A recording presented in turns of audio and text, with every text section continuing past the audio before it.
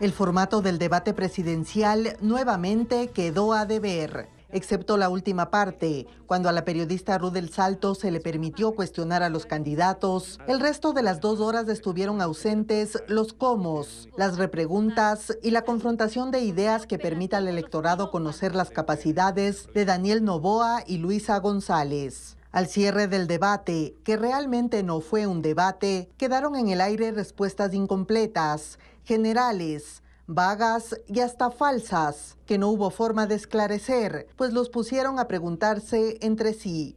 Económico, seguridad.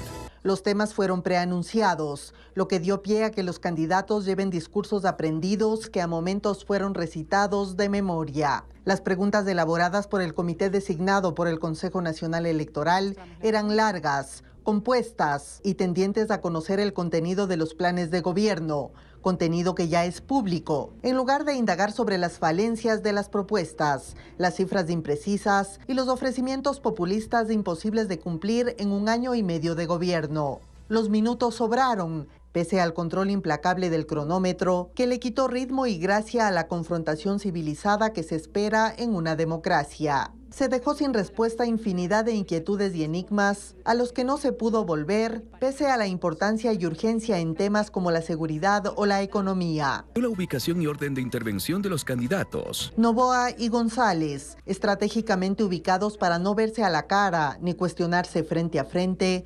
protagonizaron un programa aburrido en el que se evitó obligarles a pensar se privó al electorado de valorar su capacidad de reacción ante situaciones inesperadas o embates de última hora que seguramente tendrá que enfrentar quien se convierta en presidente. No hubo zancadillas que los ponga fuera de lugar para saber cómo saldrán de ahí en los momentos difíciles que vive el país. Se quiso abarcar mucho y el efecto fue el contrario.